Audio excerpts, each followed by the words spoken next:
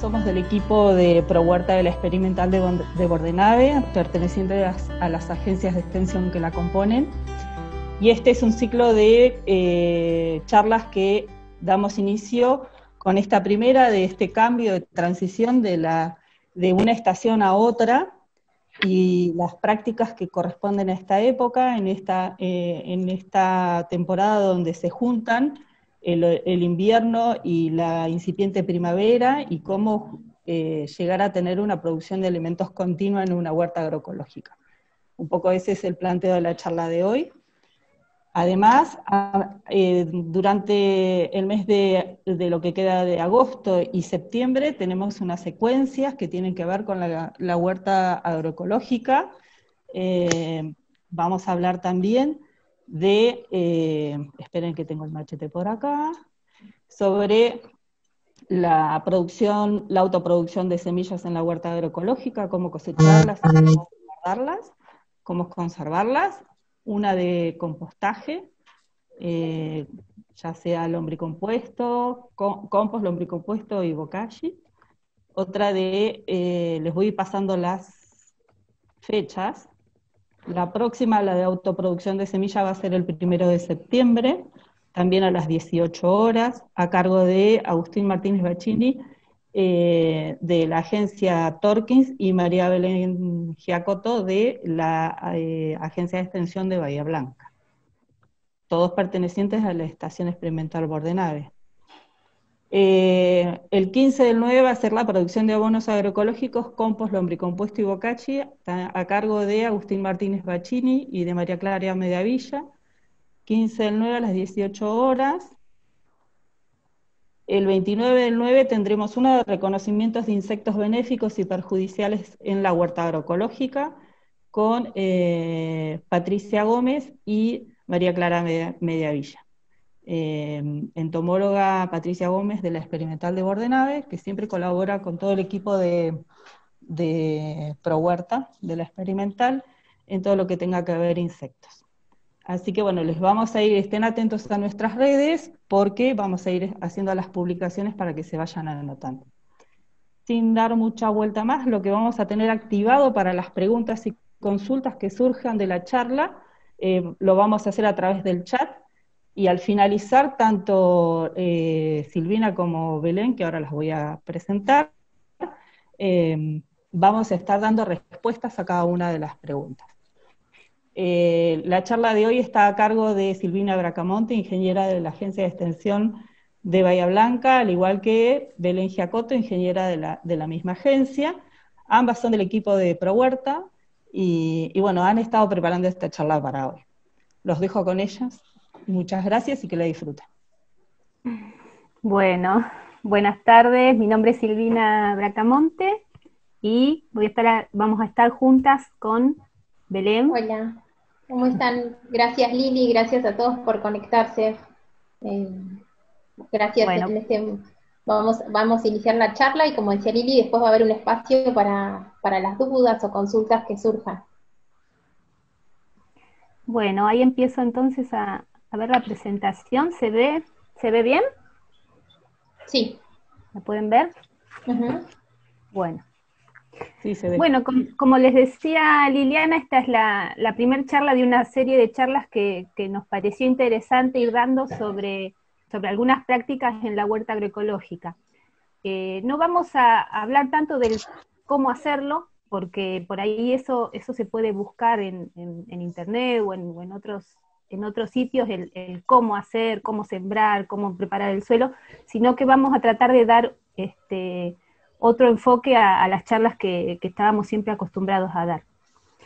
Hoy lo que, lo que quisimos acercarles es algunas recomendaciones y algunas estrategias para poder tener algo en la huerta durante todo el año. Nos pasa a veces que eh, tenemos como mucha abundancia de, cosas para cosechar en algunos momentos del año y después hay un desbalance en otros momentos. Entonces queremos tratar de, que eso no pase, de poder tener siempre algo en la huerta para, poder cosechar. Así que ese es el, principal objetivo de, esta charla de hoy. Primero, como para referenciarnos nosotros a los, que ya conocen el programa Pro Huerta y han ido a algún taller lo, lo sabrán, pero por ahí si hay gente que, se acerca por primera vez, nosotros trabajamos desde un enfoque que es el enfoque de la agroecología, que, ha ido evolucionando durante estos últimos años y, que hoy ya, es bastante conocido. Eh, y, siempre la, evolución ha sido de la mano de movimientos sociales, de los agricultores y, de, desde los científicos también. Eh, estas, eh, este enfoque en realidad lo, que, lo que hace es recuperar muchísimas técnicas y muchísimas prácticas que ya se venían haciendo eh, y tratar de, comprender por qué ocurren este, esas cosas en la, en la, huerta a través de, estas prácticas. durante este año la FAO ha tomado el, año pasado, este año, al, tema este como, como, un tema a trabajar eh, y lo define como un enfoque integrado que aplica simultáneamente conceptos y principios ecológicos y sociales al diseño y a la gestión de los sistemas alimentarios y agrícolas. Su objetivo es optimizar las interacciones entre las plantas, los animales, los seres humanos y el medio ambiente teniendo en cuenta al mismo tiempo los aspectos sociales que deben abordarse para lograr un sistema alimentario justo y sostenible. Es decir, que este es un enfoque que es más amplio que eh, la práctica agrícola o productiva, sino que tiene que ver también con, qué pasa con las personas que viven ahí. Eh, la FAO lo que hace es rescatar 10 elementos para, para, analizar y para trabajar, que son la diversidad, la creación conjunta intercambio de conocimientos, las sinergias, la eficiencia, el reciclaje, la resiliencia, valores humanos y sociales, cultura y tradiciones alimentarias, gobernanza responsable y economía circular y solidaria. Para el que quiera profundizar puede, puede buscar material en, este, en, las redes, en, internet, que hay muchísimo para, para el que quiera conocer un poco más sobre este enfoque. Y nosotros, como le decíamos en el programa, lo que hacemos es trabajar la huerta como si fuera un agroecosistema. Muchas veces nos enfocamos mucho en los cultivos que, estamos produciendo, que queremos cosechar, y nos olvidamos que en realidad ellos son parte de un montón de otros elementos que también están presentes en la huerta, y que estén presentes en la huerta nos asegura que podamos tener un sistema que sea estable, que llegue a equilibrios dinámicos, que pueda resistir si hay algún estrés, eh, entonces, todos estos elementos que, están en la huerta son importantes y cuando trabajamos en el espacio que tengamos, tenemos que tenerlos en cuenta. Eh, una característica de, la agroecología es que no importa eh, las dimensiones o el tamaño de lo, que estemos considerando. Pueden ser un, campo de muchas hectáreas, puede ser una huerta de 10 por 10 o puede ser nuestro patio con la huerta en macetas. Inclusive ahí nosotros podemos aplicar mucho de, este enfoque para, poder trabajar de esta manera. Entonces lo que decimos que en este sistema hay distintos elementos y los que podemos reconocer son los cultivos, las especies hortícolas, frutales. Es muy interesante cuando incorporamos frutales en, la huerta porque además del beneficio de tener la fruta nos dan otros beneficios ecológicos, aromáticas, malezas, que, que en realidad eh, no las llamamos malezas, las llamamos espontáneas, eh, que pueden ser especies que son nativas del lugar o que nos aportan algún otro beneficio, en este caso manzanilla, a veces aparece ortiga. Eh, hay muchas especies que aparecen espontáneamente que, traen beneficios a la huerta y que las tenemos que, considerar y aprovechar. Flores, animales. Los animales dentro del, sistema de huertas son muy importantes también porque participan, sobre todo si son animales que podemos usar sus estiércoles, participan en el reciclaje de nutrientes. Hay animales importantes porque se puede usar su estiércoles para la huerta. Sí, sí, ahí se cumple, se sigue todo el ciclo. Descomponedores de materia orgánica, los que estamos acostumbrados a ver son las lombrices que nos indican buena fertilidad del suelo, pero hay muchísimos otros organismos que están participando en el suelo en esta descomposición, hongos, virus, bacterias que están en las plantas, en el suelo, insectos que comen plantas, insectos que comen otros insectos, todos son importantes en este sistema, y los huerteros. Los huerteros como parte también del sistema y todo su accionar, cómo va influyendo eh, en, estas relaciones que se, que se, pueden ir dando para que sean relaciones beneficiosas o relaciones que nos, nos tiran hacia atrás la huerta. Eh, ahí puse también el sol, la lluvia, porque todo estos sistemas siempre va a estar condicionado por las condiciones ambientales en, en donde nos encontremos. Bien.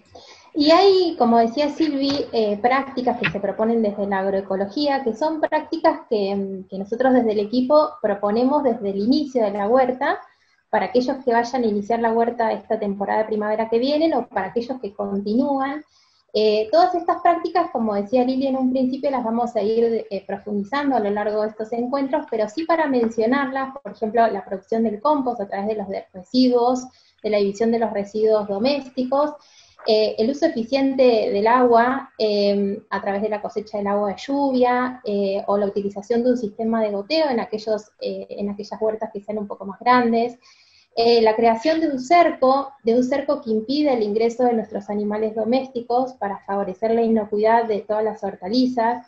Eh, como decía Silvi recién, eh, la incorporación de flores, de aromáticas que favorezcan la diversidad. estas prácticas en sí, individualmente cada una, son súper valiosas, pero son mucho más valiosas cuando las ponemos en funcionamiento en su totalidad. ¿Por qué? Porque, como decíamos recién, nos va a permitir abordar la huerta desde un agroecosistema. Son todas prácticas que van a favorecer la diversidad y van a favorecer principalmente que las plantas de nuestra huerta crezcan fuertes, crezcan sanas em, y que, como decíamos, planteamos un, modelo que sea eh, en su totalidad. No solo mirar qué queremos sembrar, sino mirar todas aquellas prácticas que nosotros podemos poner en funcionamiento desde el espacio de huerta que nosotros planifiquemos para, nuestro patio. Hay algunas, em, en la siguiente, Silvi, mm, algunas prácticas que tienen que ver más con la planificación. Una de las prácticas que nosotros consideramos eh, la aliada de nuestra huerta es la asociación. ¿Qué quiere decir esto? Bueno, buscarle un buen vecino al cultivo que nosotros queremos eh, sembrar. Por ejemplo, si nosotros eh, queremos sembrar un rabanito, que sabemos que es de crecimiento rápido, podemos asociarlo, es decir, sembrar al lado un cultivo que sea de un crecimiento más lento, que lleve un poco más de tiempo. O asociar un cultivo de raíz con un cultivo de hoja. Esto lo que nos va a permitir es, eh, nos va a permitir y va a favorecer más que nada es la diversidad, la diversidad de colores, la diversidad de alturas, cuestiones que favorecen la llegada de los insectos benéficos. Otra práctica súper interesante que nosotros proponemos en nuestra huerta agroecológica, independientemente del tamaño que tengamos, es la rotación. Es decir, no hacer siempre lo mismo en el mismo lugar. Por ejemplo, si en esta próxima temporada de primavera nosotros en un determinado espacio vamos a sembrar o trasplantar un plantín de tomate cuya, cosecha va a ser un fruto, en la temporada siguiente, en el mismo espacio, sembramos un cultivo que nosotros vamos a cosechar una raíz, como puede ser rabanito, remolacha, zanahoria, y en la temporada siguiente, en ese mismo espacio, podemos sembrar algo de hoja. Y en la próxima temporada lo dejamos descansar con un abono, sembramos flores. De esta manera vamos haciendo que, no gastando siempre el suelo con el mismo nutriente. ¿Se entiende? Ahora lo vamos a ir viendo bien en la foto que sigue. Este es un ejemplo eh, de una huerta que está ubicada en la localidad de Argerich, en el partido de Villarino, que empezó en un suelo muy arenoso. Esta es una zona de médanos donde era un médano, literalmente, y que producto de este suelo fue abonado, fue trabajado con mucho abonos y mucho compost, podemos obtener un agroecosistema como es este donde observamos que se hizo un macrotúnel, es un, un, túnel hecho de una forma muy sencilla con caños de agua, y que está protegido del frío, del viento, con este polietileno. En este espacio lo que se hizo fue crear la mayor diversidad posible, incorporándole flores, como son las caléndulas, y distintos tipos de cultivos. O sea, no hay un solo cultivo, sino que hay muchos cultivos, como son las habas, hay puerro, hay verdeo, hay acelga.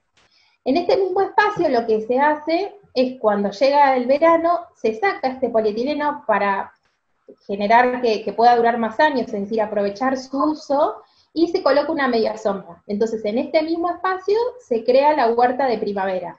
Entonces, es una forma de continuar utilizando este, este espacio y al mismo tiempo se va rotando en algunos sectores, se va dejando descansar.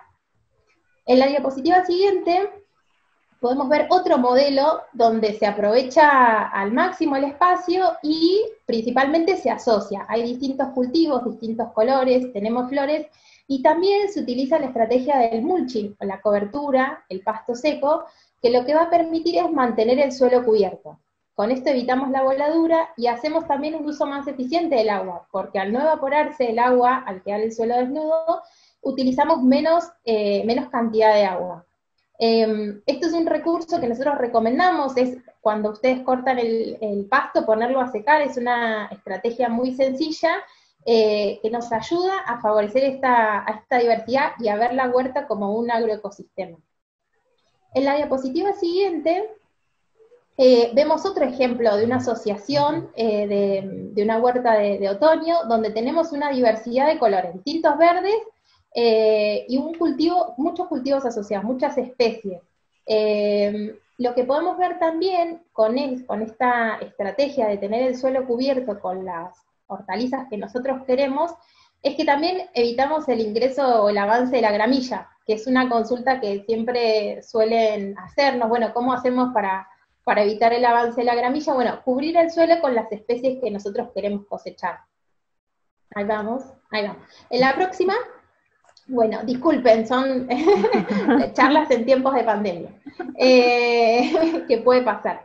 Eh, vemos, acá vemos, esto es una huerta que está ubicada también en un espacio más grande, eh, donde nosotros lo que vemos es, hay plantines de lechuga, eh, de lechuga morada, y otros plantines, no sé si alcanzan a ver esta lechuga, que la dejamos cumplir su ciclo, es decir, la dejamos semillar.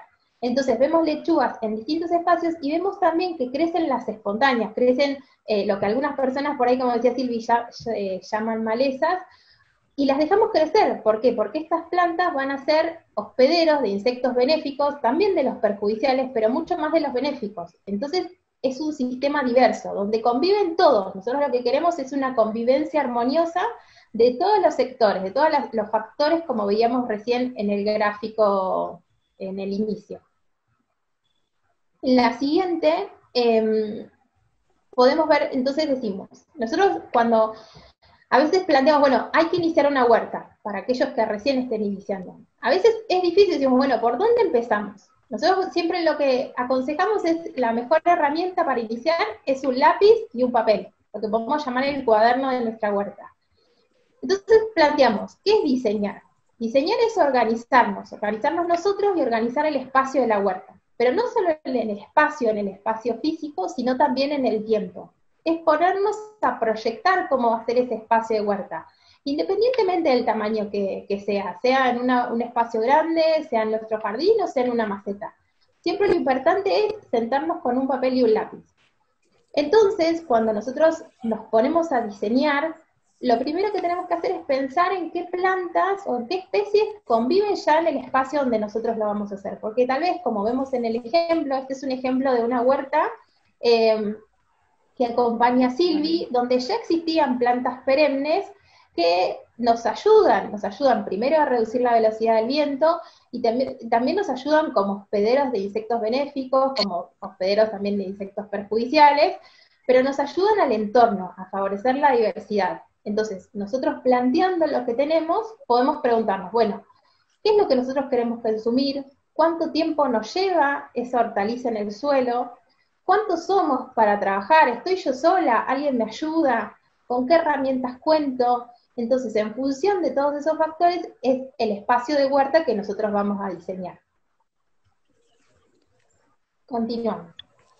Este es el modelo de huerta que nosotros eh, planteamos en la cartilla, en la cartilla que después les vamos a compartir eh, de forma online, que ustedes pueden buscar de forma gratuita en la biblioteca digital de ProHuerta, donde vemos un espacio de huerta, que es un espacio grande, después cada uno lo puede acomodar al espacio que cada uno tenga, donde vemos que se destina un espacio para producir el abono, otro espacio para la cosecha de agua de lluvia, otro espacio acá para los almácigos, y un espacio que es para la huerta intensiva, donde son especies eh, que por ahí requieren un poco más de cuidado, y otro espacio para la chácara, que son las especies que ocupan más, eh, más, más lugar.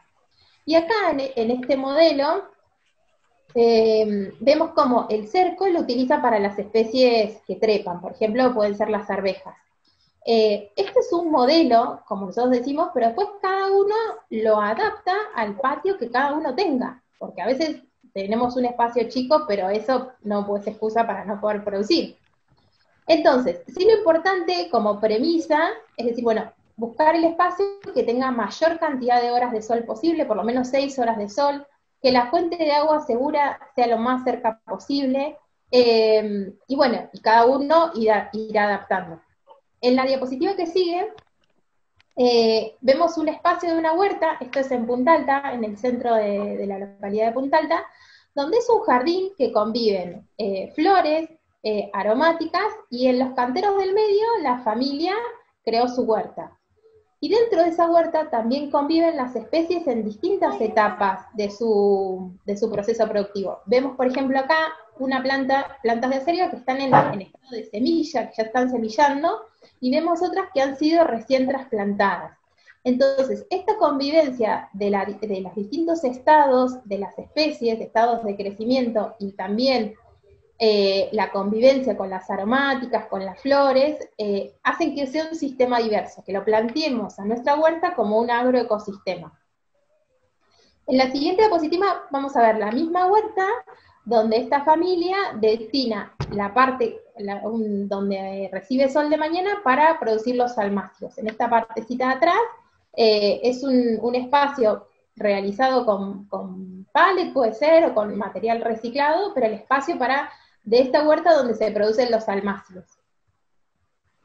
En la siguiente podemos ver otro espacio de huerta. Por ejemplo, en, estas dos fotos vemos familias que no tenían espacios tan grandes como la anterior, pero así y todo pudieron tener su huerta de verano con los zapallos, buscando una estructura donde puedan trepar.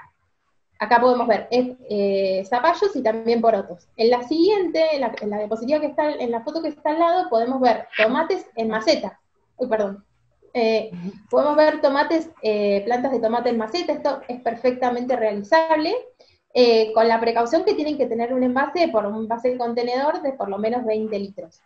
sí, rellenarlo con, con, tierra que esté abonada, ¿por qué? Porque las raíces van a estar confinadas en ese lugar, no es que van a poder salir a explorar nutrientes, entonces sí hay que tener esas cuestiones anticipadas, eh, previendo el tamaño, que va, el tamaño final que va a tener esa planta, pero es posible hacerlo en macetas. Esto también para, compartirles la diapositiva siguiente, eh, después ustedes, esta, esta charla va a quedar grabada y la van a poder ver en el canal de, YouTube del Pro Huerta de Bordenave, del INTA Bordenave, eh, está detallado cultivo por cultivo los días a cosecha. ¿Y por qué nos sirve este dato? Porque este dato lo que nos eh, ayuda es a prever cuánto tiempo va a ocupar ese cultivo en nuestro cantero o en nuestra maceta.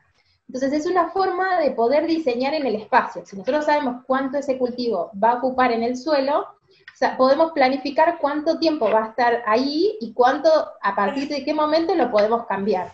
¿Se entiende? Esto después es para que lo vean en detalle. Ahora está toda la información ahí, pero más que nada para que ustedes puedan planificar en su espacio de acuerdo al tiempo que va a ocupar ese cultivo en la huerta.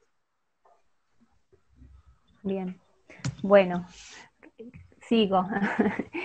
Este, bueno, como, dice Belén, el tema de, la planificación en el espacio es una de las primeras cosas que, por ahí arrancamos a, hacer, porque la, huerta tiene múltiples entradas para empezar a organizarla, pero una, una entrada que puede facilitarles es desde los espacios, diseñar los espacios para después empezar a planificar en el tiempo.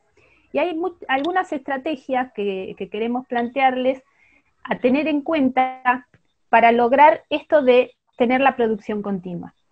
Primero, incorporar diversas hortalizas. Eh, es, muy importante comer de manera diversa para, para, estar saludables y la huerta también tiene que ser diversa. Eh, al menos 15 especies y de 15 para arriba deberían estar presentes en, la huerta.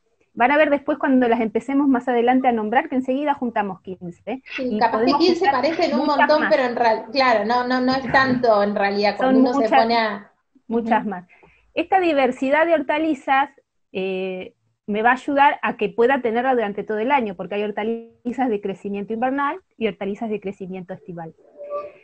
la siembra escalonada, este cuadro que, nos mostraba recién Belén de, los días a cosecha, después si se fijan, hay algunas especies, por ejemplo el rabanito, o la lechuga o la rúcula, que son unas de las primeras en llegar a cosecha. Sobre todo en estas especies es importante hacer la siembra escalonada, no sembrar todo junto de una vez, sino ir repartiéndola una vez al mes, una vez cada mes y medio, un poco cada vez, para poder tener entonces también la cosecha este, continua.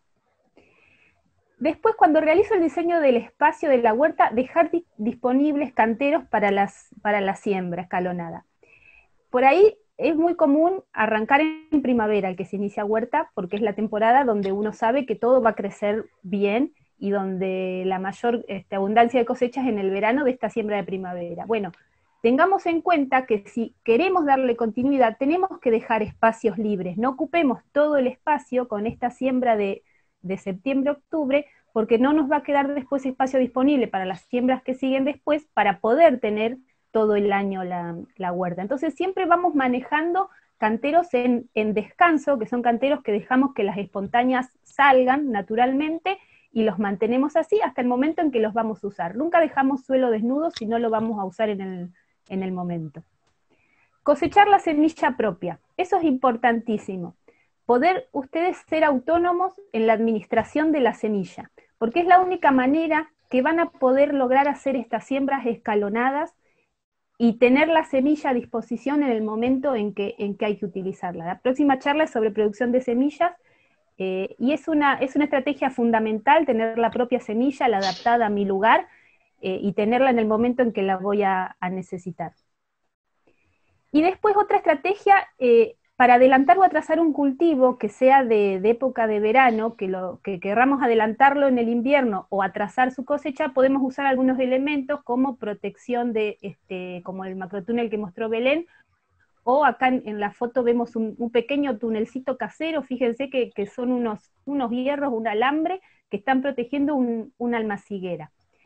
Eh, el nylon puede ser cualquier nylon, si yo lo utilizo para cubrirlo a la tarde y destaparlo a la mañana.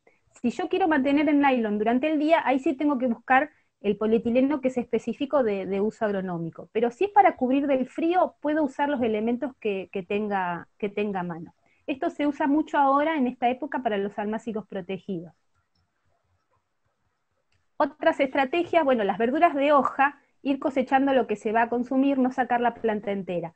Esto eh, esta recomendación es para la selga, la lechuga, la rúcula, el perejil, eh, todas las que vamos consumiendo la, hoja, sacamos lo de la ensalada, se sacan las hojas de afuera y se dejan las del centro para que la planta siga desarrollando nuevas, hojas. Entonces así la misma planta, sobre todo si, tenemos poco espacio, eh, la misma planta me va a producir varias, para varias comidas.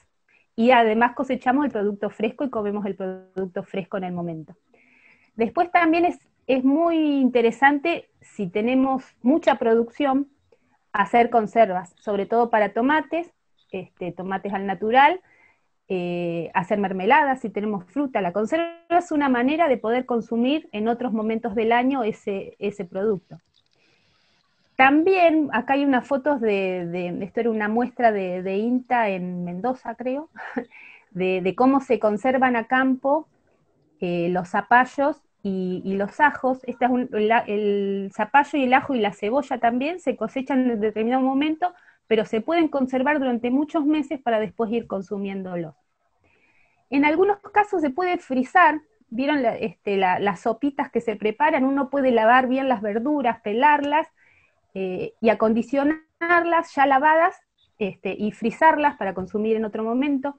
Algunas hojas, como la albahaca también, se pueden, ah, eh, se arman algunas especies de calditos, arman algunos y lo frizan, o la hoja bien lavada se frisa y se consume en el momento. Y con las aromáticas lo que se hace es cosechar, secar, dejar secar, se despalilla eh, y se guarda en seco y también esos son condimentos que se pueden usar en cualquier momento del año. Ahora vamos a meternos como como más de lleno en el tema de eh, que les decía de cómo planificar las siembras dentro de, dentro de la, huerta. nosotros decimos que, la que nos marca las tareas generalmente es la siembra, porque una vez que, sabemos qué sembrar y en qué momento se siembra, podemos ir viendo qué tareas previas son necesarias y qué tareas serán necesarias después de la siembra. Como tareas previas, todas las que tienen que ver con preparar el espacio. Eh, si es necesario, si está muy engramillado, mover el suelo dos o tres veces, eh, abonarlo a ese suelo, preparar el sistema de riego, todas esas tareas que se hacen previamente se hacen cercanas al momento de la siembra o del trasplante. Y después también podemos ir previendo las tareas que siguen después, si hay que tutorar esas plantas, cómo vamos a regar, si hay que ir desmalezando. Pero primero lo que hacemos en nuestro cuaderno, como decía Belén, es anotar qué especie vamos a, cultivar y en qué fecha la vamos a sembrar. Entonces, a partir de ahí vamos a poder planificar todas las, demás tareas. Para saber cuándo sembrar, hay muchos calendarios que podemos nosotros este, tener, que son calendarios orientativos, pero lo importante es referenciarnos en, en, la zona en la que estamos viviendo, en donde queremos instalar la huerta, porque hay mucha diferencia según donde, donde estemos viviendo. Bueno, acá en, esta reunión vi que hay gente de Salta, de Formosa, eh, bueno, eh, son otro, es otra realidad, la del norte del país, a la que tenemos nosotros, que estamos en una región semiárida, es el sudoeste de la provincia de Buenos Aires, y alguien que está en, Chubut o en la Antártida, como estaba Martín, dijo Martín, en chiste, va a tener otra realidad absolutamente diferente. Entonces los calendarios hay que adaptarlos a las zonas en las que estamos. Nosotros las recomendaciones que vamos a dar de acá en adelante en la presentación tienen que ver con esta zona. Y los alrededores, los partidos de los alrededores también se, se pueden referenciar pero también según la, variedad que nosotros vamos a cultivar, entre cada especie hay muchas variedades, también las fechas de siembra van cambiando. Tal vez, perdón Silvia, ahí lo que les podemos sugerir es que se acerquen a, la agencia o oficina del INTA más cercana para consultar acerca de los calendarios, eh, porque ahí seguramente está bien adaptado a su zona. Veíamos recién que también había gente de Bariloche, mm. de Formosa, entonces eh, son, como dice Silvi, situaciones totalmente distintas, eh, situaciones agroclimáticas distintas, entonces es necesario referenciarse cada uno a su, a su entorno, a su espacio y a su clima. Sí. Bueno, nosotros acá, donde, donde estamos, tenemos, eh, en el cuadro este quise, quise mostrar, aunque no se note tanto, que tenemos inviernos que nos da la sensación que son muy largos y veranos muy largos y primaveras y otoños más cortitos. Y justamente las condiciones de la primavera y del otoño son las condiciones ideales para el crecimiento de todas estas especies. Las especies que nosotros cultivamos en la huerta no son de este lugar, son de otros lugares en donde tienen otras condiciones. Entonces nosotros tenemos que eh, modificar algunas de las condiciones de nuestros entornos para que puedan crecer bien estas plantas que, vamos a cultivar. Eh, estas modificaciones tienen que ver, como, como ya lo dijimos, eh, poner árboles, poner arbustos, que, logren armar microclimas donde se concentre más la humedad, porque no tenemos la precipitación suficiente como para que estas plantas puedan sobrevivir sin riego, cuidando el suelo para que no pierdan humedad, protegiendo del viento. Nuestra zona es muy ventosa y el viento es un factor que, hace que las plantas disminuyan mucho el rendimiento, aunque no, lleguen a tal vez a, morir. Eh, entonces, nosotros sí o sí nuestro ambiente hay que hacerle algunos ajustes ajustes para que estas plantas puedan desarrollar correctamente. Además de, abonar el suelo, porque nuestros suelos tampoco tienen eh, una fertilidad tan, tan alta. Eh, habrán visto que nosotros en el programa manejamos este, dos campañas de siembra, la campaña de otoño-invierno y la campaña primavera-verano. Y en estas dos campañas hay especies que se repiten, porque tenemos especies en la huerta que pueden desarrollar en invierno y en verano. Eh, acá lo que vamos a nombrar son las, más comunes, las que más se cultivan en nuestra zona, hay muchísimas más. Eh, el caso de estas de que se cultivan todo el año son la zanahoria, la rúcula, la lechuga, la cebolla de verdeo, el apio, rabanito, acelga, perejil, remolacha. Y después, las que, las que corresponden a cada temporada, en otoño-invierno e tenemos la espinaca, la arveja, las habas, el ajo. Estas son especies que crecen bien en climas templados frío y sobreviven a las heladas. Estas son especies que pueden estar afuera en la huerta durante el invierno y van a sobrevivir. Si las protegemos, van a desarrollar mucho mejor, pero si no las protegemos, igual van a sobrevivir porque están adaptadas a sobrevivir a esas condiciones. Y las especies de primavera-verano, estas sí o sí las tenemos que cultivar en la primavera y en el verano, y vamos a, llegar hasta el otoño y con los primeros fríos empieza a, morir la planta porque no, no son resistentes a las bajas temperaturas. Son los zapallos, los zapallitos, melón, sandía, el morrón, el tomate, el choclo, el poroto, la cebolla para bulbo, ahí me está, tapando las de atrás, la albahaca. Estas son las especies típicas de primavera-verano. Ahora lo que, lo que vamos a, pasarles es una, serie de, datos de cómo podrían ustedes organizar las siembras en el año para lograr tener eh, la cosecha más repartida durante el año. En el invierno, como les decía, nosotros tenemos una limitante muy grande que son las bajas temperaturas. Entonces, durante junio y julio se recomienda no sembrar. Se puede sembrar, uno puede sembrar, pero las plantas tienen un crecimiento muy lento, una germinación que tarda mucho y un crecimiento muy lento que termina haciendo que, em, que no valga la pena sembrar en julio, sino esperar 15 días más hasta agosto y sembrar, este, sembrar ahí cuando las condiciones empiezan a mejorar. Y en agosto sí hacemos una siembra grande de almácigos protegidos, de morrón, tomate, berenjena, cebolla para, para bulbo y albahaca. Y si venimos de la huerta de años anteriores, vamos a tener en ese momento, en el invierno, para cosechar zanahoria, remolacha, apio, cebolla de verdeo, perejil, espinaca, lechuga, acelga, zapallo, rabanito, cebolla y ajo. La cebolla y el ajo, este, los que están conservados de la manera que les mostraba antes. En primavera que es la época en donde empieza a hacer más calor, donde empiezan a, mejorar las temperaturas, igual podemos tener algún riesgo de helada. Entonces, durante septiembre seguimos haciendo almácigos, protegiéndolos y podemos sembrar acelga, lechuga, cebolla de verdeo, rúcula, apio, perejil, rabanito. Octubre es el, es el mes que en nuestra zona es el mes clave porque ahí ya eh, no hay tanto riesgo de helada, entonces ahí es donde trasplantamos todos los almácigos que hicimos durante agosto y septiembre y hacemos la siembra directa de todo lo que se corresponde a la chacra, todo lo más voluminoso, los zapallos, los zapallitos, el choclo, el melón, poroto, sandía, pepino, zucchini, todos los de las familias de las cucurbitáceas los ponemos ahí en octubre siembra directa. Y noviembre podemos este, sembrar lechuga, rúcula, rabanito, que, que esta es la estrategia de la siembra escalonada que les decía, volver a, volver a sembrarla, ya la habíamos sembrado antes, pero la volvemos a sembrar. Y en septiembre estamos, en primavera, estamos cosechando apio, rúcula, lechuga, acelga, perejil, habas, arvejas, cebolla de verdeo, rabanito, zanahoria, todas estas cosechas vienen de la siembra del otoño. Una manera fácil por ahí de pensarlo es que lo que siembro en otoño lo cosecho en primavera, lo que siembro en primavera lo cosecho en verano y otoño. Eh, de una temporada a la, otra yo voy, yo voy pensando para desde la siembra a la cosecha. Bueno, y verano es el, es el mes el más abundante, en donde tenemos gran volumen de cosecha.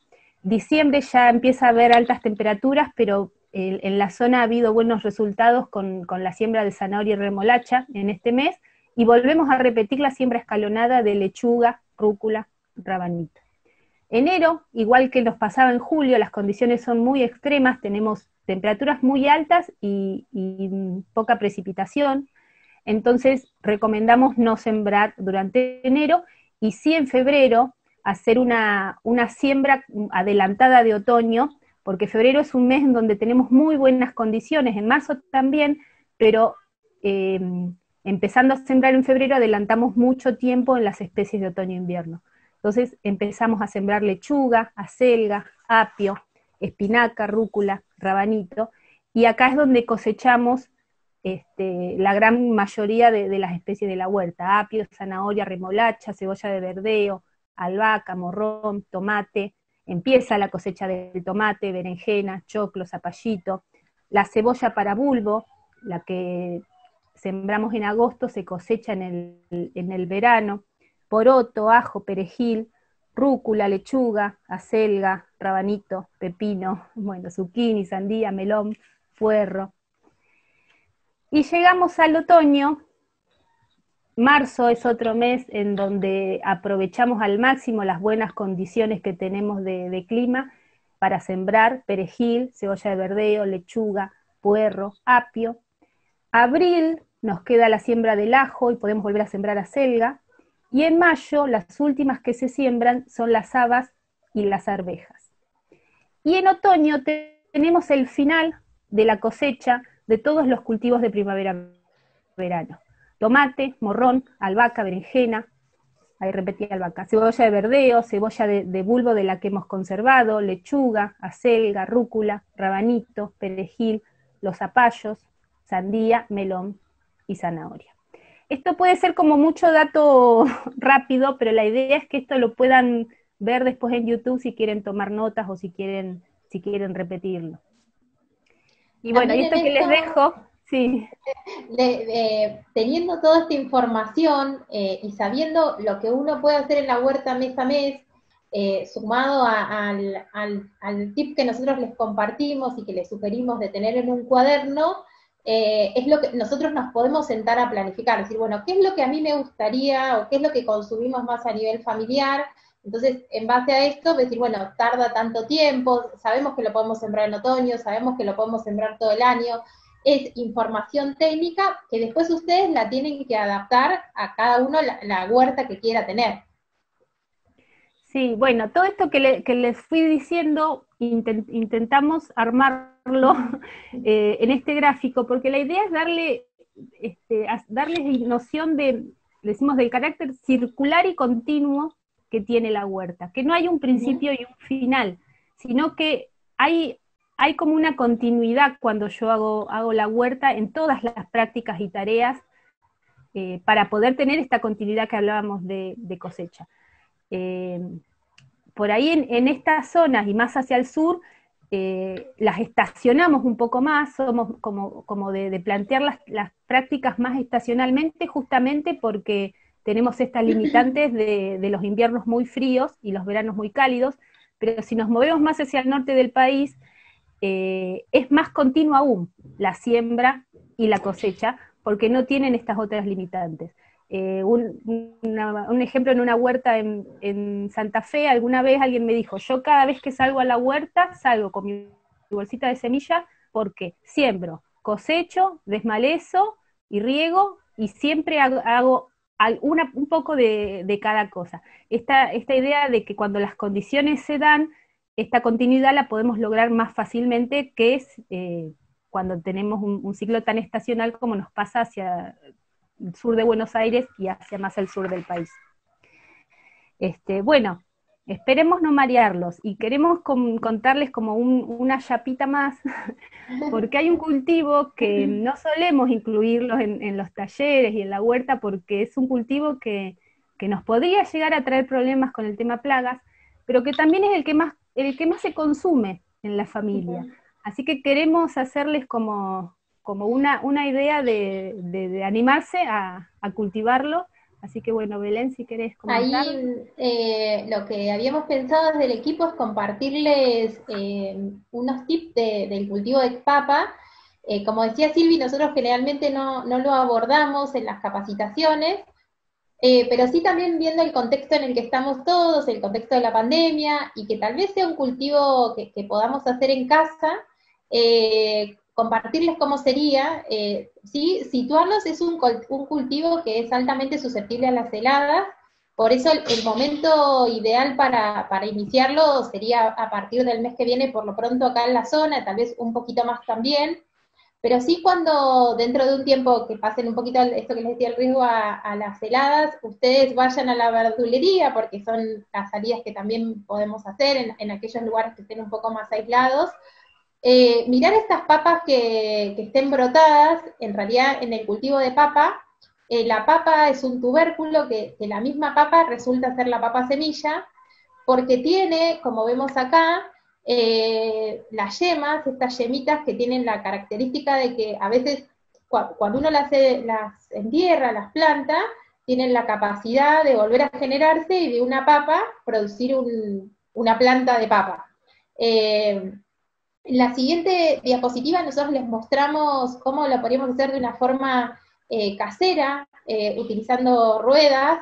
Eh, esto también se puede hacer en una maceta. Sí, lo importante que, para que ustedes prueben en su casa, incluso para hacerlo con, los chicos, es algo muy pedagógico, porque aproximadamente de una papa van a, podemos cosechar 20 papas, entonces es bastante, se multiplica mucho, es una cosecha abundante. Eh, sí, por ahí saber, nosotros la, sembramos, eh, depende del tamaño de la papa, seguimos el mismo criterio de, sembrar no más de dos veces su tamaño. Eh, y sí, la papa requiere una práctica que es el aporque, que significa tirarle tierra encima. más que nada también para que esa papa no sea soleada, no reciba el sol, después es cuando vemos la papa más verde en la verdulería. pero sí es, una planta, esto sencilla, eh, a veces suele ser atacada por, los bichos moros, pero si nosotros promovemos toda esta diversidad en la huerta y la rodeamos de flores, es un cultivo que teniendo poca cantidad no, vamos a tener problemas. Eh, y es un cultivo que, nosotros sugerimos hacer, eh, de incorporar en esta temporada la huerta, y después en el próximo nos, nos van contando cómo les fue. el indicador tal vez para decir, bueno, ¿cuándo están las papas, general, lo que pasa es que la planta se seca y ahí nos damos cuenta, empezamos a escarbar y, vamos a encontrar eh, varias papas. Eh, esto a modo de, tip queríamos compartírselos y sugerirles que, prueben hacerlo en su casa. Eh, tal vez en las personas que vivan más en zonas más frías, como contaban en, el inicio en, Bariloche o, un poco más abajo, sugerimos taparla, protegerla un poco más de los fríos. Eh, pero sí invitamos a hacerlo porque esto podemos empezar con una papa brotada que tengamos en casa. Sí, por ahí para, para que me, olvidé de decir del, cuadro que armamos el circular, que, tanto hablamos del cuaderno, sería interesante que cada uno se pueda armar el suyo. Este que les mostré es el que armamos de acá, de las huertas de acá, pero que cada uno pueda armar el suyo y y compartirlo con huerteros vecinos, desde las experiencias que va logrando y desde las experiencias de los demás, ir armando los propios calendarios de, siembra. Bueno, esta, esta, ha sido la charla, estos son los materiales que, que recomendamos, hay muchísimos, pero estos son bien básicos como para arrancar. La cartilla de huerta orgánica familiar, la buscan así en el buscador, el planificador de huerta que tiene esta portada, que es un cuadro gigante con muchísima información. Eh, y Mi Huerta, Mi Casa, que es un librito que está pensado más para, huertas sin suelo, huertas en, macetas, en huertas urbanas.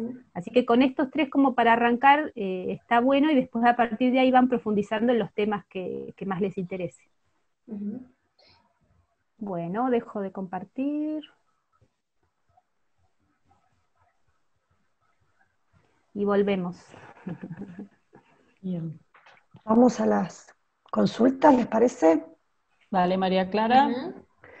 Em, bueno, muchos agradecimientos, algunos comentarios que podemos contarle a las chicas que obviamente ya no podían ir leyendo, pero la, la pregunta más asociada al taller es si ahora es el momento para sembrar la papa, o sea, agosto.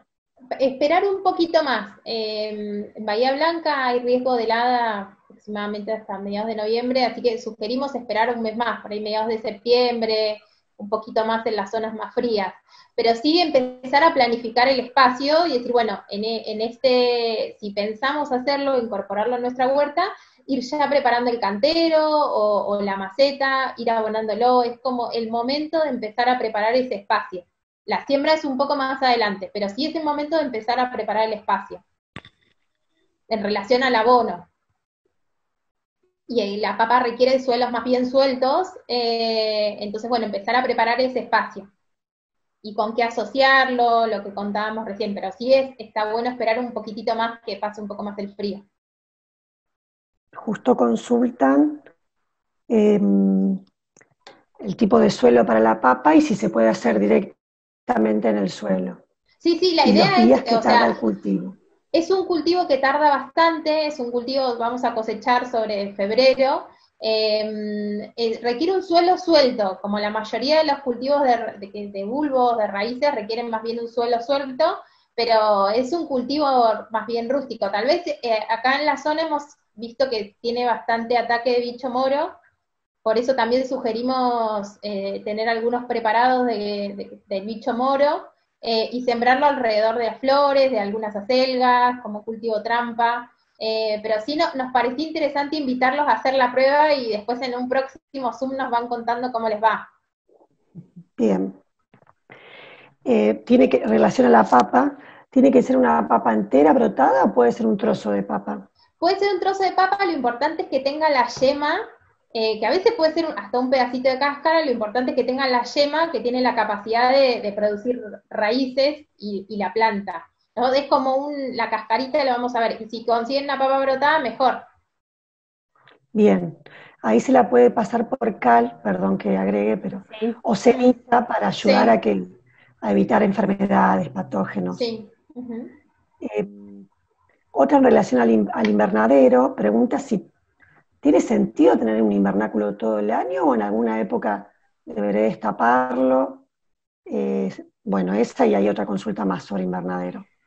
Em, por ahí empiezo y después hay, otros técnicos que están más especializados, pero como líneas generales el tema invernadero, eh, depende en qué zona estés, pero es muy importante la ventilación. Y en verano, en muchos casos en nuestra zona, directamente se levantan todas las ventilaciones laterales y se les pone media sombra arriba si, si uno quiere mantener algún cultivo ahí durante el verano. Y si no, se usa de otoño a primavera. Si alguien quiere completar. Y si se puede sembrar todo o no. Ejemplo, hay especies que, las crucíferas como el brócoli, el repollo, esas especies prefieren el frío. La arveja puede ir adentro, puede ir afuera. Eh, uno ayuda con el invernáculo en invierno, pero muchas están preparadas para el frío. Ejemplo, las crucíferas, que son las que más se bancan el frío y de hecho lo desean. y en el verano el problema es el excesivo sol, ¿no? Calor. Sí, sí, en nuestra zona hace mucho calor y adentro de un invernadero en verano es prácticamente imposible producir. Eh, entonces, en, esta, en nuestra zona sería más que nada para el invierno. Eh, otras preguntas nuevamente vinculadas con la papa, si se puede hacer directamente en el compost y si hay que enterrarla mucho, o sea, cuando la planto. Eh, como que si la pregunta es si todo el suelo sería compost, no. Eh, claro. con lo que sea, no, no, no, es tan, claro, tan, no, tanto. En un compost estable sí, pero también se sugiere que sea más bien mezclarlo con arena, como un suelo más suelto. Tal vez el compost resulte un poco pesado. Eh, sí, la, idea es eh, como una especie de, sugerencia, tal vez si hay muchos interesados podemos planificar una charla también más de papa con, los más Sí, por ahí con, con referencia al compost, es muy común que broten solo las papas, los tomates, los zapallos. Eh, ahí hay que tener en cuenta que el compost tiene una temperatura mucho más alta que la tierra. Entonces, tal vez estén brotando en momentos del año que después si yo lo trasplanto a la tierra, se estrese y no logre sobrevivir. Eso también tenerlo, tenerlo en cuenta. Eh, si está brotando en el compost, si lo quiero trasplantar y estamos en julio, agosto, eh, no, no va a poder sobrevivir. Hay que, hay que esperar a que, a que este, pasen las bajas temperaturas. Bien, después, superficie para cada papa, ejemplo distancia, ¿no? No creo que se refiere a eso. Marco de plantación. No, son cultivos que crecen más bien en, vertical, así más o menos unos 60 centímetros, aproximadamente 60 centímetros está bien. Eh, y la idea, la sugerencia de las ruedas eh, puede ser, eh, nos pareció interesante por el tema del reciclado, pero también puede ser en macetas. Eh, sí, por ahí, por macetas, si es una, un contenedor eh, de, una maceta de esas rectangulares, tal vez sembrar dos papas, no mucho más porque van a empezar a competir entre ellas. Bien. Bueno, eh, con respecto a preguntas técnicas, em, los pájaros, problemas de pájaros, han probado eh, con media sombra, con las, tiritas de bolsa, con cassette, igual se comen ah. todo.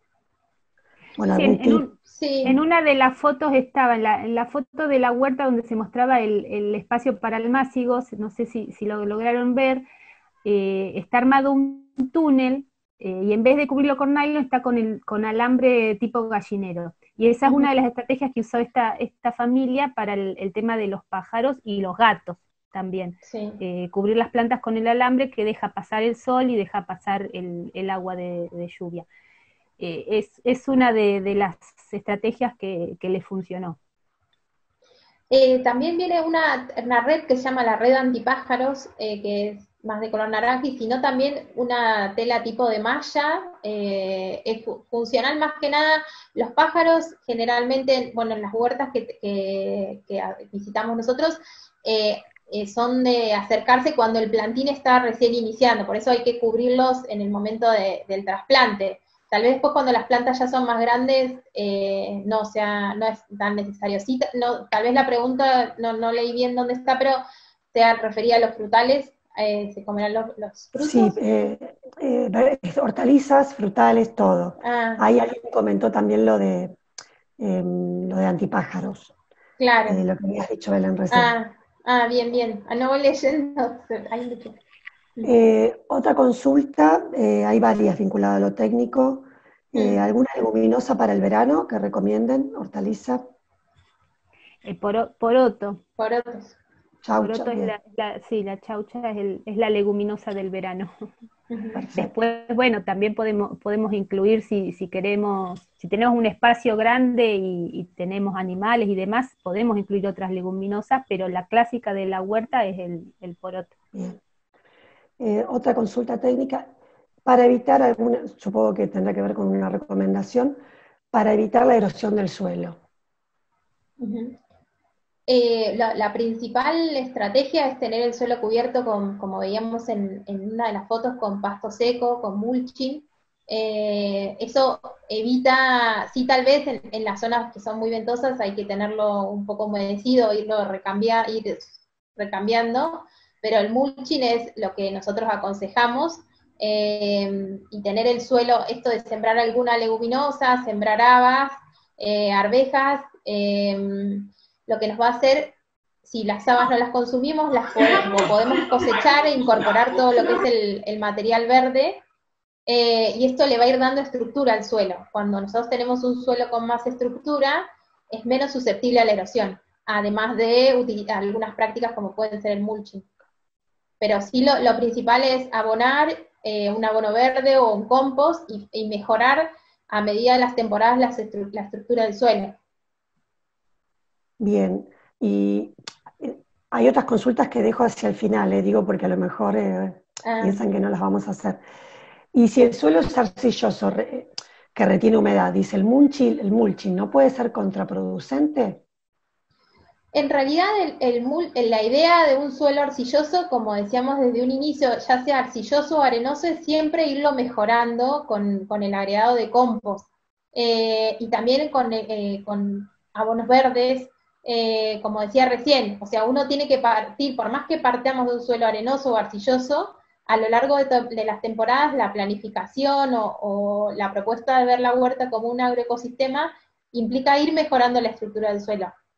Nosotros tenemos que partir que si de un suelo abonado eh, y un suelo con alto contenido de materia orgánica va a favorecer el crecimiento de cualquier especie. No sé, Silvi, si quieres aportar algo respecto a eso. No, es, tal cual lo que decís y es también uno, un, tema que se va a abordar más en profundidad en, el, en la charla que, haya sobre compost, el cómo mejorar el suelo. Bien, después hay preguntas eh, vinculadas, bueno, a plagas, que podemos comentar algo y si no esperar al último taller.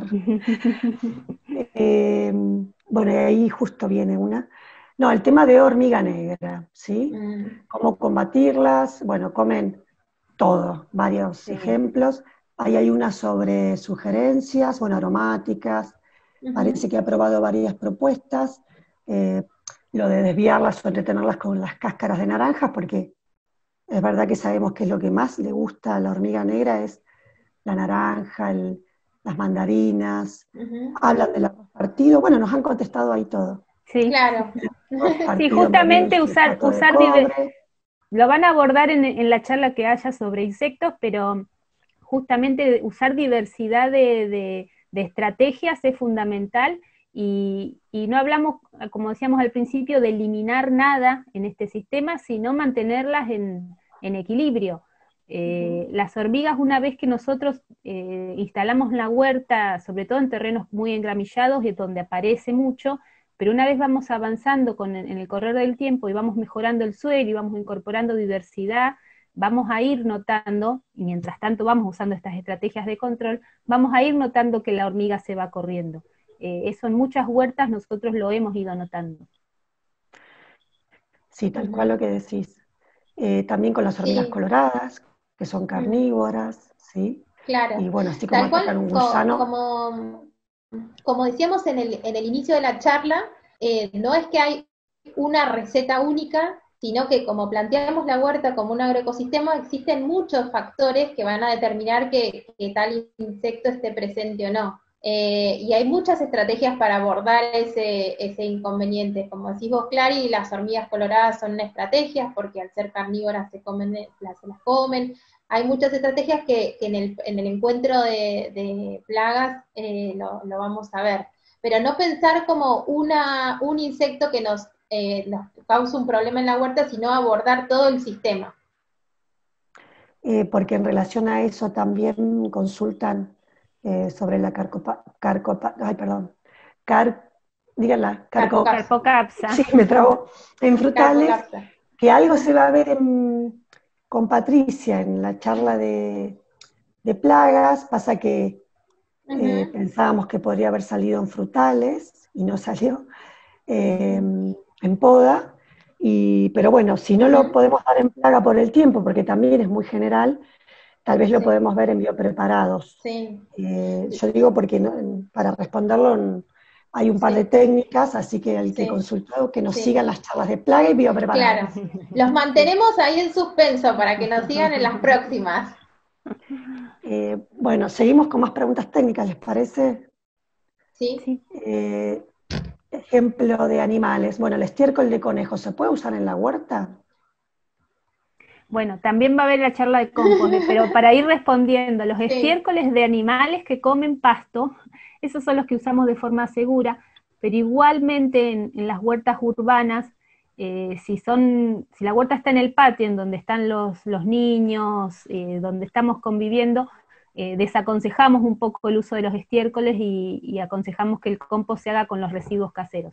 Si los vamos a usar, siempre la recomendación es higienizarse bien, lavarse bien las manos, porque puede, puede traer algún problema de enfermedad pero sí, animal que come pasto, ese estiércol se usa para, los compost. Y una, una pregunta en relación a animales, eh, no la termino de comprender, a ver si me ayudan. ¿Se pueden tener animales que se alimenten del cultivo mínimo? ¿Cuáles? ¿Animales que se alimenten de la huerta? Tal vez las gallinas, podría ah, ser. Este, a veces las, gallinas criadas a, pasto se, mm. pueden como liberar en, algún sector de la huerta y que, y bueno, comen, comen, pero no van a comer mínimamente, van a comer todo. Claro, van a comer todo y también... Eh, eso Su, claro, y también tal vez el, problema sea que hagan, o sea, sus...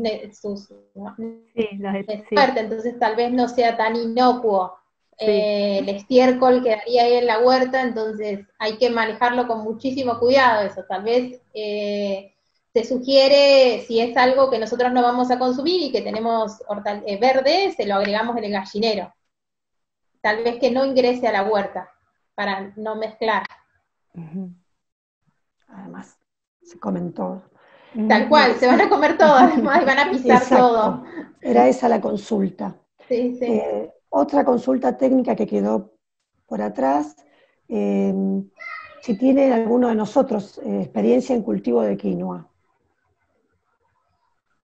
No. Eh, se ha hecho algunas experiencias en el partido de Villarino. es un cultivo, por ejemplo, lo menos en esa zona que es muy cerquita donde nosotros estamos, se adapta muy bien Después por ahí esa persona nos puede escribir al mail eh, y le pasamos el contacto de quienes en, la, en, en en la experimental de Ascasubi, hay varios técnicos que han hecho experiencia con quinoa y amaranto.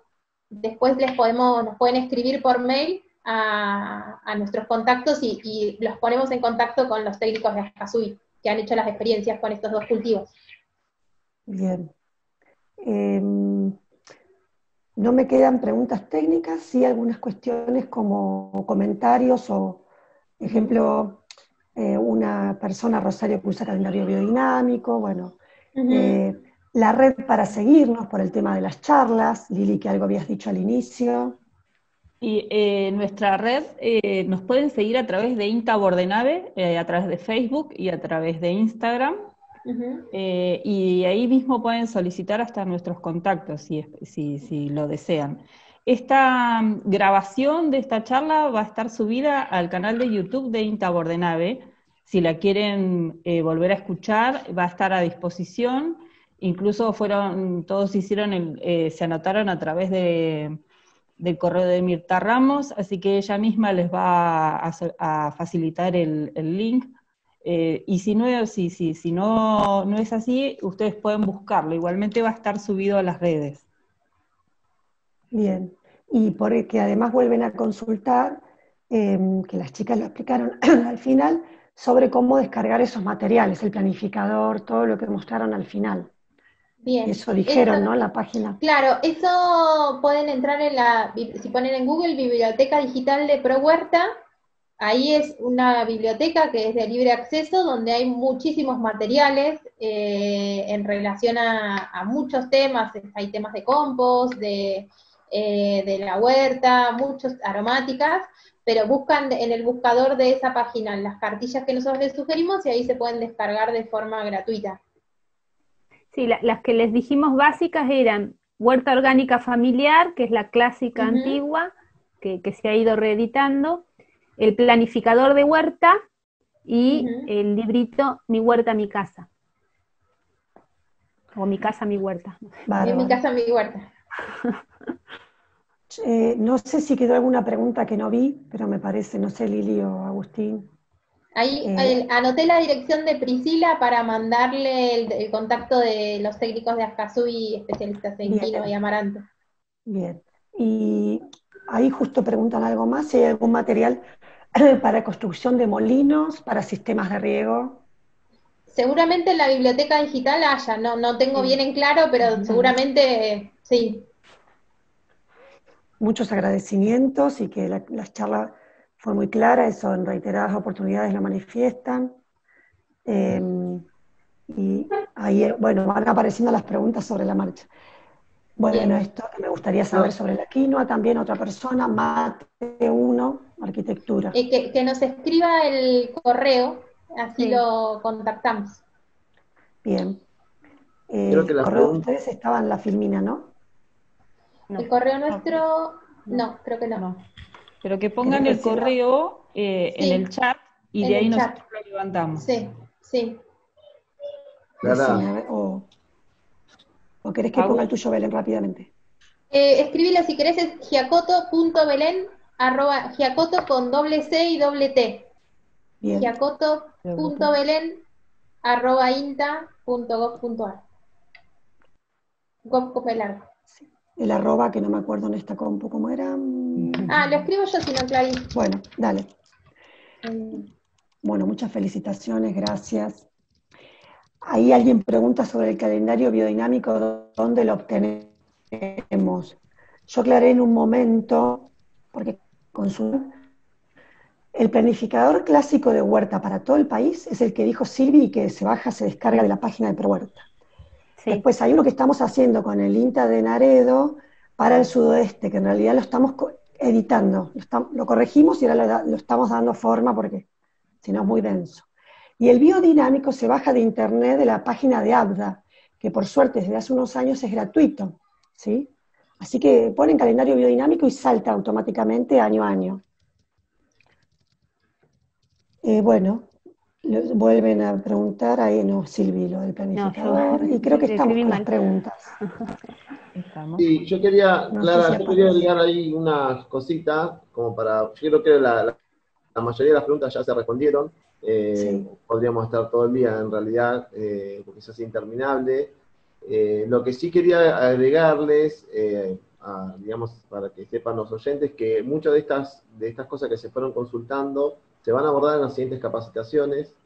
Eh, se, van a, se va a volver a ver el tema de, cómo mejorar un suelo, de las plagas, ¿sí? o sea, hay, hay muchas cosas que se estuvieron charlando recién que, se van a volver a, tomar con, más, un poquito más de profundidad, eh, pero que bueno, que, si pueden, que, se, que, se, sumen a las próximas capacitaciones, ¿sí? para poder eh, dedicarle el tiempo a, cada una de esas preguntas que se hicieron eh, acá en esta jornada. Eh, así que me parece que, estuvo bastante, bastante bien en, lo que es eh, las preguntas y bueno, y se, pudieron contestar la mayoría. Sí, que ahí continúan. Bueno, lo del calendario biodinámico, que es, eso hay mucha información. Nosotros lo trabajamos también. no sé, ¿quieren explicar o explico brevemente? No sé. Contalo, Clary, si querés. Em, es una corriente de producción orgánica, ¿sí? que surge de Alemania, de, Rudolf Steiner, que es el padre de la homeopatía, también de ahí surge la homeopatía, la agricultura biodinámica, em, bueno, donde lo que se rige es a través de cómo están ubicados nuestros planetas, el Sol, la Tierra eh, y las estrellas, cómo eso, bueno, direcciona o, potencia o perjudica la producción de animales, de cultivos, de, abejas, bueno. Y, claramente en el calendario, si bien tiene una introducción de varias hojas, te explica qué sembrar cada día, cuándo no hacer nada, cuándo aprovechar y rastrear el suelo. Digo esto porque en agricultura extensiva también se está utilizando y hay mucha investigación científica eh, de, los biodinámicos, sobre todo en Alemania, María Thun, que se la pueden googlear, o Steiner. Y bueno, el calendario que ya trae toda la explicación en las primeras páginas. Y como a veces hay demanda, por ahí más adelante podríamos dar un tallercito. Pues lo veremos nosotros. Ah, ahí hay otra pregunta, no sé si seguimos con las preguntas. Eh, ahí leía una pregunta en relación a la huerta vertical. En esta cartilla que sugerimos de mi casa, mi huerta, hay varias imágenes eh, donde muestran las huertas verticales. Podemos, podés iniciarte, Alejandra preguntaba, con esa cartilla y bueno, y evaluar también para, para más adelante tal vez un taller de huerta vertical. Bien, bárbaro. Bueno. Em, ahí consultan por semillas, Daniela de Bordenave, Lili, eh, más adelante, ¿verdad? En septiembre llegan las nuevas.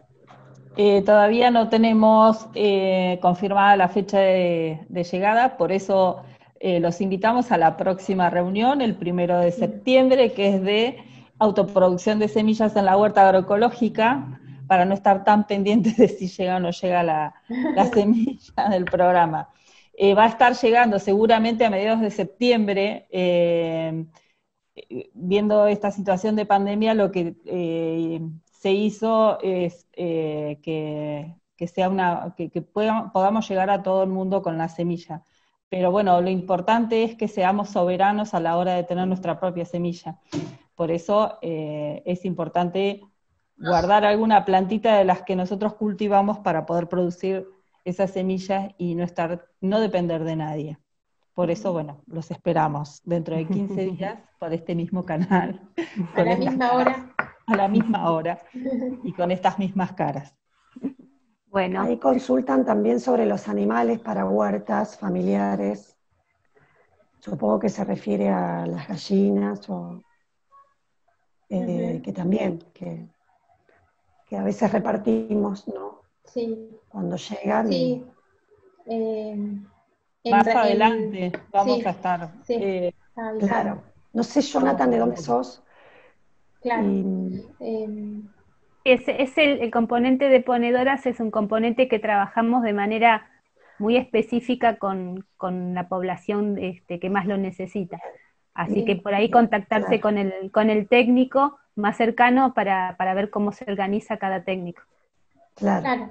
Dice que es la boca, así que ahí es el INTA experimental del AMBA. Eh, en, en, este sentido, como, como dice Silvi, eh, la población objetivo del programa para el que nosotros trabajamos, que es el ProHuerta, es la población más vulnerable. Eh, entonces, tanto en el caso de la, de la llegada de las semillas o como en el caso de las gallinas, siempre la prioridad son aquellas personas que, que no la puedan comprar. Por ahí, eso como decías vos, Clary y Silvis, contactarse con el técnico de, la zona. Claro, que él consulta por el contacto, pero buscar ah. eh, em, la agencia de Avellaneda es la que trabaja en la boca, digamos, sí, Mariana Morix, pero eso está en Experimental AMBA y te figuran las agencias, los teléfonos, sí, pero sería con la agencia de Avellaneda en tu caso. Bueno, agradecemos que hayan estado hasta esta hora. Tuvimos una hora y media juntos compartiendo con las chicas y con este intercambio de preguntas. Así que bueno, les agradecemos y los esperamos en la próxima. Y bueno, aquí estamos para lo que necesiten. Saludos. Adiós.